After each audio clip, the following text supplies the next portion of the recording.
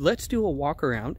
And as Sure. as we do that, if you don't mind, just kind of telling me what you're looking at, uh, and basically the whole process of, of the walk around before startup. Sure. Yeah, Awesome. my pleasure. Thanks very much. I'm just gonna actually take my helmet off. Don't Sure. mind. Yeah, absolutely. It's a lot. All right, come along.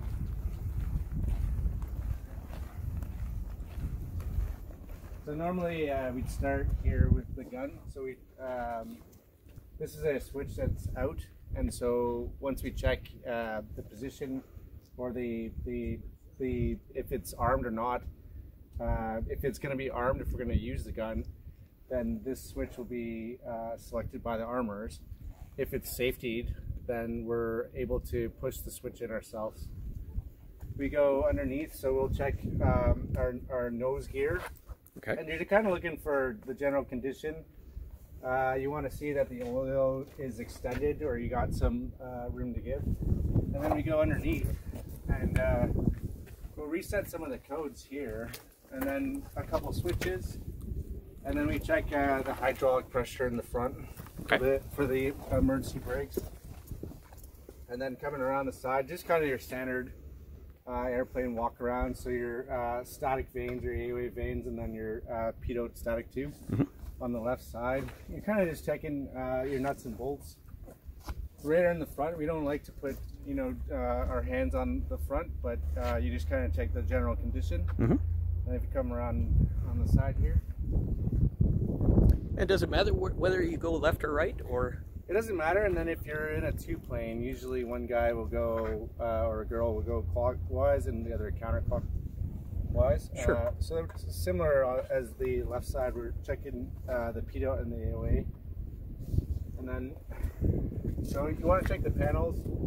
We have our uh, pins box, so you'll have your pins uh, up in this uh, compartment okay?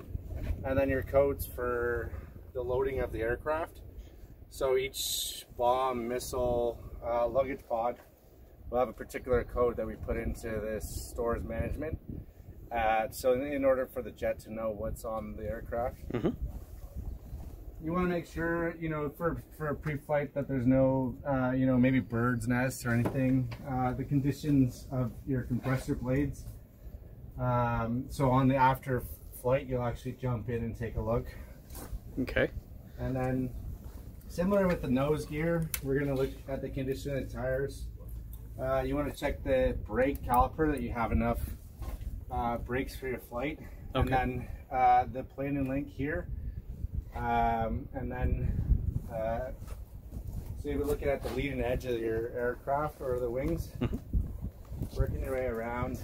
Uh, if you had uh, external tanks or anything else, you would be pre-flighting those as well Okay. most time you'll have some sort of training uh, missile on the wings uh, or a you might have to load your uh, uh, DTD so da- data storage uh, device Mhm. and then your ailerons and your flaps uh, just again kind of looking at the condition uh, we got hydraulics it's green um, it's only really accurate right after the flight Okay. so that's what you'll see a lot of times. Technicians will come and check after the engines are started uh, in order to ensure you got the proper hydraulics for your right and your left. It will actually go underneath.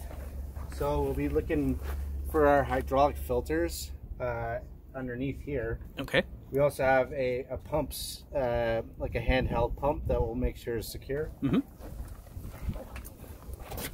So that's secure.